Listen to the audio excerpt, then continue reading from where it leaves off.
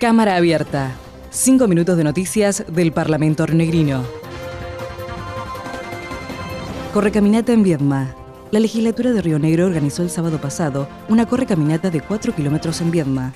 La propuesta recreativa y saludable, Corrida Integración 2015, comenzó con la entrega de remeras a los inscriptos, que sumaron más de mil personas.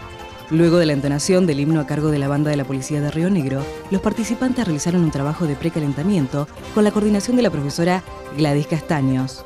Al concluir la actividad, el titular del Parlamento se refirió a la jornada deportiva. Muy contentos de que haya habido una concurrencia tan importante, más de mil inscriptos en esta corre caminata, como la hemos denominado, para integrar a la familia en una actividad física que conjugue a todos, jóvenes, adultos, niños, eh, deportistas, quienes no practican deporte. Vagón educativo. El presidente de la legislatura firmó, junto a la ministra de Educación, Mónica Silva, y el titular de Tren Patagónico, Jorge Malhasian, un convenio de colaboración que beneficia a los alumnos de las escuelas primarias y secundarias de toda la provincia con viajes estudiantiles subsidiados. El acuerdo establece que el Parlamento subvenciona una parte del pasaje, en tanto que el costo restante debe gestionarlo cada establecimiento educativo por medio de sus cooperadoras o con el aporte de los padres. Cuadriciclos para agentes sanitarios de la línea sur. El vicegobernador presidió los actos de entrega de cuatriciclos y materiales de trabajo para los agentes sanitarios de las localidades de Jacobasi y Maquinchao. Pesati, acompañado por el ministro de Salud Fabián Esgaib, hizo entrega de tres cuatriciclos para los parajes de Ñorquinco, Atraico y Lipitren, y uno en Maquinchao para el agente sanitario que se desempeña en el CAIN. Catriel contará con la Tecnicatura en Hidrocarburos.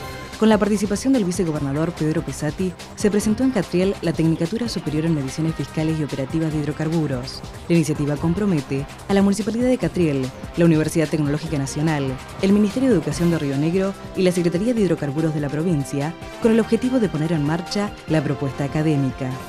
Durante la apertura, Pesati expresó que en el Estado provincial necesitamos técnicos para fortalecer y cuidar uno de los recursos más importantes que tiene la provincia, que son los hidrocarburos. Y qué mejor que sean los jóvenes de Catriel quienes tengan la posibilidad de capacitarse aquí. Es simbólico ¿no? que tengamos aquí a la Universidad Tecnológica Nacional eh, inaugurando en este acto una carrera que significará la capacitación de nuestros jóvenes en una tecnicatura que nosotros en el, estado, provincial necesitamos para mejorar nuestra calidad profesional al momento de controlar la construcción de los hidrocarburos en el territorio de la provincia. Esto fue 5 minutos de noticias del Parlamento Arnegrino.